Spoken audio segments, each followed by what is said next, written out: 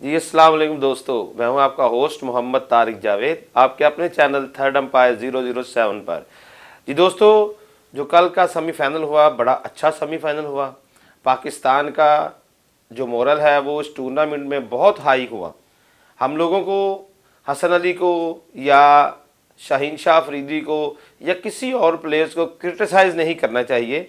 क्योंकि positive mind में आप अगर क्रिटिसाइज़ करेंगे तो वो अच्छी चीज़ है कि वो सीखें। और आइंदा अगर इस तरह की कोई सिचुएशन दोबारा नेक्स्ट किसी मैच या किसी इवेंट में आए तो वो अपने आप को उसके लिए तैयार करें। तो मैं अपनी पूरी टीम को, पूरी मैनेजमेंट को चेयरमैन रमीर राजा साहब को, तमाम को मुबारकबाद पेश करता हूँ कि बड़ी देर बाद बड़ा ही अच्छा प्रोटोकॉल जो है वो हमारी टीम ने हमें दिया पूरी दुनिया में। क्योंकि पहले पाँच मैच जो विन किए, बड़ी अच्छी एवरेज से विन किए, फिर कल का मैच भी बड़ा फाइटिंग था। एक टीम ने जीतना था, एक ने हारना था, लेकिन ओवरऑल हमारी टीम ने हमारे इमेज को बहुत हाईलाइट किया है और पूरी दुनिया में जो टीमें हमें कहती थी कि हमारे यहाँ सिक्योरिटी प्रॉब्लम्स हैं, हमारे यहाँ कोई और प्रॉब्लम्स हैं, उनके वो प्रॉब्लम्स भी उन्होंने हल किए। क्योंकि अगर न्यूजीलैंड हमसे खेल कर जाता तो शायद वर्ल्ड कप में वो उसका वर्कआउट भी कर लेता। लेकिन वो यहाँ से हमसे खेल कर नहीं गया, जिसकी वजह से उसको बहुत ज़्यादा क्रिटिसाइज भी किया गया और उसने महसूस भी किया वर्ल्ड कप के मैच में भी कि अगर हम पहले पाकिस्तान से तीन टी ट्वेंटीज़ की सीरीज़ खेल आते तो शायद वर्ल्ड कप में उसके लिए भी कोई वर्कआउट कर लेते। ऑस्ट्रेलिया नो डाउट बड़ी अच्छी टीम है, बड़ी टीम है, बड़े प्लेयर्स की टीम है, हमसे बहुत अच्छी है, लेकिन हमने फाइट बड़ी अच्छी की है। हार जीत गेम गेम का हिस्सा है जिसका पहला सेमीफाइनल हुआ। न्यूजीलैंड देखने कहाँ था। एक ओवर मिला, उसमें 22 रन मिले तो न्यूजीलैंड आगे आ गया। इंग्लैंड लूज कर गया। लेकिन ओवरऑल जो टीमें चारों सेमीफाइनल में पहुँची हैं, बड़ी मंजिलें तय करके सेमीफाइनल में पहुँची हैं। सबसे खुशी की बात, पाकिस्तान इंडिया से मैच जीता, जो कि मैच ऐसा मैच था, हम किसी वर्ल्ड कप में इसको आउट क्लास नहीं किया इंडिया को। और हमने उसको आउट क्लास किया, जिससे हमारे प्लेयर्स ने हमारा दिल जीत लिया। अब हमें अपनी टीम की बैक करनी चाहिए। हमें अपने प्लेयर्स को क्रिटिसाइज नहीं करना चाहिए। हसन अली हमारा बहुत अच्छा प्लेयर है। आने वाले वक्तों में भी वो पाकिस्तान की कई फतवाहत में उसका एफर्ट शामिल होगी। तो हमें हसन अली की जो बैक परफॉर्मेंस है, उसको नहीं भूलना चाहिए। हसन अली हमारा स्टार है, हमारा प्लेयर है, हमारा पाकिस्तान का प्लेयर है, हमें उसकी बैक करनी चाहिए।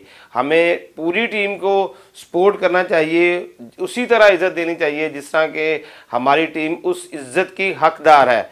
हम अपने प्लेयर्स को बहुत ज़्यादा, दूसरे लोग जो क्रिटिसाइज कर रहे हैं, उनको भी जवाब देना चाहिए कि हमारी टीम ने ओवरऑल ये जो टूर्नामेंट खेला है, इसमें दूसरी टीमों को बताया है कि पाकिस्तान के जो प्लेयर्स हैं टैलेंटेड प्लेयर्स हैं, उनमें परफॉर्मेंस देने का अभी जज्बा है और हम इन ताला आइंदा जो भी इवेंट आएगा, इससे बेहतर परफॉर्मेंस देने की कोशिश करेंगे। तो मैं तमाम टीम्स को खसूस मैनेजमेंट को, रमीज़ राजा साहब को, उन्होंने जिस तरह टीम को एक सेटअप चेंज हुआ चेयरमैन चेंज हुआ कोच स्टाफ चेंज हुआ, उन्होंने उन प्लेयर्स के साथ दोस्ताना माहौल बनाया, उनको प्रेशर से निकाला कि जिस तरह के प्रेशर में वो होते थे, उससे निकाला। बाद में उनसे परफॉर्मेंस ली। फिर जो प्लेयर्स हमने वर्ल्ड कप से पहले चेंज किए, उन प्लेयर्स ने गेम करके भी दिखाई। शैम मलक को भी टीम में आना चाहिए था और अलहमदिल्ला जब वो टीम में आया, अफ़गानिस्तान के ख़िलाफ़ मैच हो या उससे पहले जो मैच हमने खेला, न्यूजीलैंड के खिलाफ भी श्यामल की परफॉर्मेंस अच्छी थी टीम में स्टे किया। आसफ अली की भी परफॉर्मेंस आप देखें, उसको भी वर्ल्ड कप से पहले बहुत क्रिटिसाइज़ किया गया था। तो उसमें भी उसकी परफॉर्मेंस बड़ी ही अच्छी रही। फिर उसके अलावा ओवरऑल जो हमारा, हर वर्ल्ड कप में हमारा मैच दुनिया देखने आती है, इतनी पजीराई पूरे सीरीज़ में किसी और टूर्नामेंट में नहीं होती। जब इंडिया और पाकिस्तान का मैच होता है तो उसमें आप देखें पूरी दुनिया के चैनल्स पूरी दुनिया की नज़रें उस मैच पर होती हैं और पाकिस्तान ने उसको सिंगल हैंडेड विन किया था।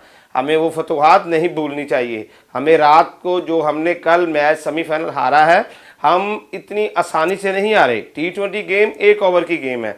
और वही हुआ कि पाकिस्तान थोड़ा सा मैच पर कंट्रोल जो है था, वो आखिरी ओवर में छोड़ दिया। कप्तान का फैसला भी बहुत अच्छा था। जो उसका मेन बॉलर होता है, कप्तान की कोशिश होती है कि एक तो ओवर फिनिश होने से पहले उससे करवाए जाएँ। जो परफॉर्मेंस शाहीन शाह अफरीदी की इस वर्ल्ड कप में थी, आपको भी पता है, इंडिया के खिलाफ भी उसने शुरू में विकटें ली। ऑस्ट्रेलिया के खिलाफ भी आप देखें, उसने पहले स्पेल अच्छा किया।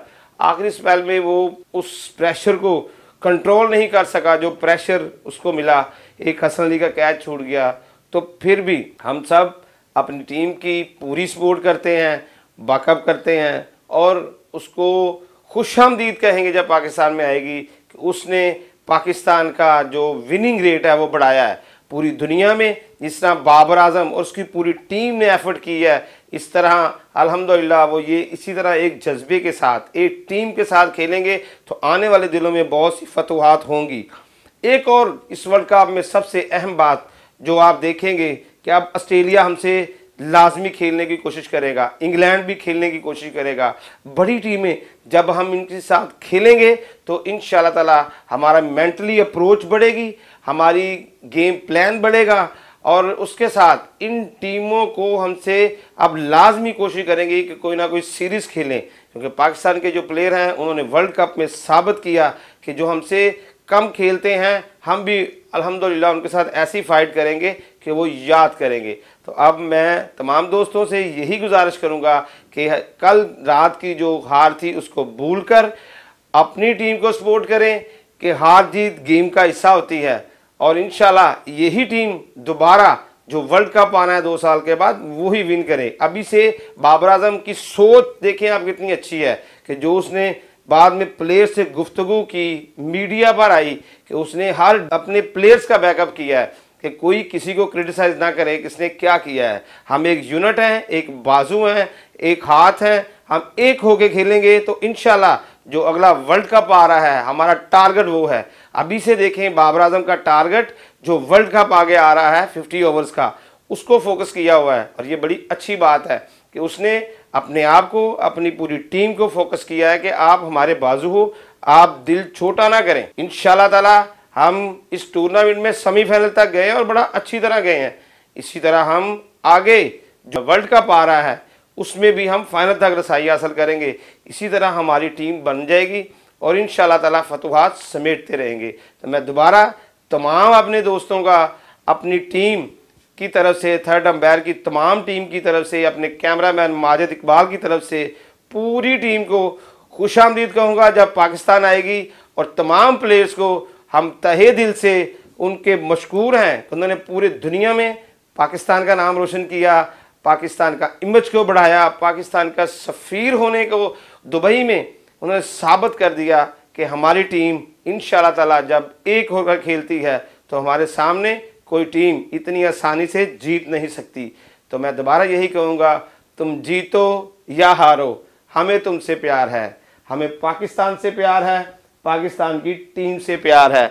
और आप भी इसी तरह अपनी टीम से प्यार करें और इन प्लेयर्स को अपने मैसेज भेजें सोशल मीडिया पे कि आप हमारे हीरो हैं, हमारे स्टार हैं और इन ताला पाकिस्तान की टीम दुनिया की टीम बनेगी। आने वाले वर्ल्ड कप में। आप भी देखिएगा Babar Azam well done Rameez Raja chairman PCB well done जो आपकी पॉलिसी थी, वो कामयाब हुई कि प्लेयर्स ओपन माइंड खेलें, जीतने के लिए खेलें और पाकिस्तान का इमेज रोशन करने के लिए खेलें। दौलत के पीछे ना जाएँ। पाकिस्तान जिंदाबाद। पाकिस्तान पाइंदाबाद। अब मैं आपसे इजाज़त चाहूँगा।